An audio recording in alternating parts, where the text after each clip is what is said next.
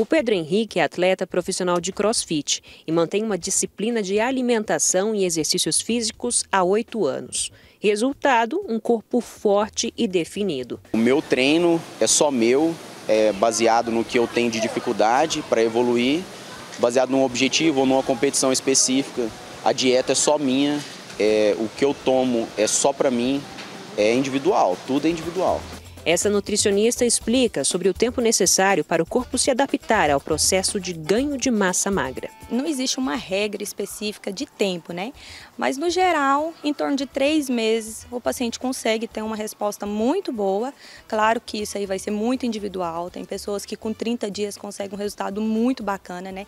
Vai depender do comprometimento, como que está o metabolismo da pessoa, mas de regra geral, em três meses dá para a gente reeducar muita coisa, dá para a gente ter um resultado bacana se a pessoa estiver focada e querendo mesmo fazer acontecer, sabe? Para passar pela hipertrofia, é necessário respeitar três pilares importantes: o pilar do sono, o pilar do treino e o pilar da água são pilares importantíssimos. A gente precisa sempre estar muito bem hidratado. A cor do xixi vai estar tá te dando esse termômetro, né, da quantidade de água.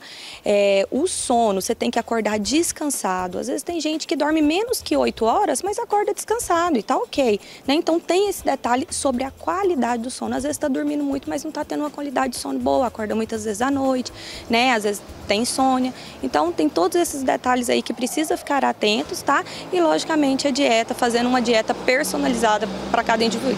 A profissional também explica que nem sempre é necessário fazer o uso de suplementos é se reeducar, né? Se é uma dieta para hipertrofia, a gente tem que ajustar a quantidade de nutrientes para hipertrofia, né?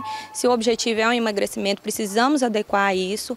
É, não necessariamente a pessoa, a pessoa precisa de suplementação, isso vai ser muito individual da necessidade, qual treinamento essa pessoa faz, né? Para a gente não precisar gastar um dinheiro à toa sem a real necessidade dessa suplementação. A suplementação é muito bem-vinda, bem-vinda, traz resultados muito, muito bacana mas a gente precisa avaliar, ver se aquilo ali tem essa necessidade de suplementação. E nada melhor do que um exercício físico, atividade adequada, gente, para ganhar essa massa magra, até mesmo para emagrecer. Por isso eu vou conversar aqui com o Guilherme Oliveira, que tem 22 anos de experiência como educador físico e tem também experiência de passar esses treinos especializados, tem também a experiência com crossfit. Guilherme, conta pra gente.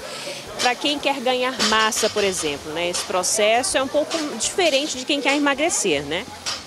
Justamente. É, na parte mais técnica, na parte mais científica, a gente costuma dizer que, ao contrário do que muitas pessoas dizem, ganhar massa é muito mais difícil do que emagrecer.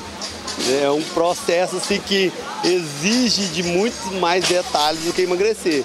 Você tem um treino especializado para isso, você tem algo que é fundamental, que é a parte da alimentação, porque não adianta só eu montar um treino que seja direcionado totalmente específico para você se você é descuidado com a sua alimentação. Tem a parte do sono que é uma das coisas principais, né?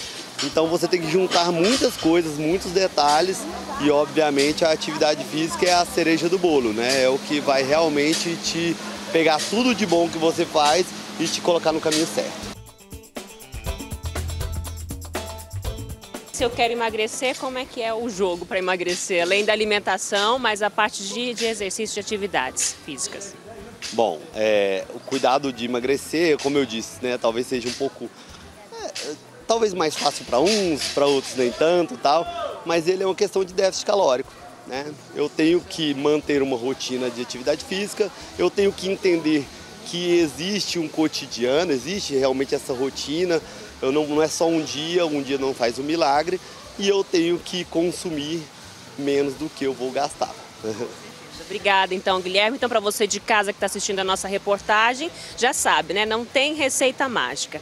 O negócio é manter a rotina, respeitar o seu corpo, a sua saúde e seguir a orientação de profissionais para você conseguir o resultado desejado.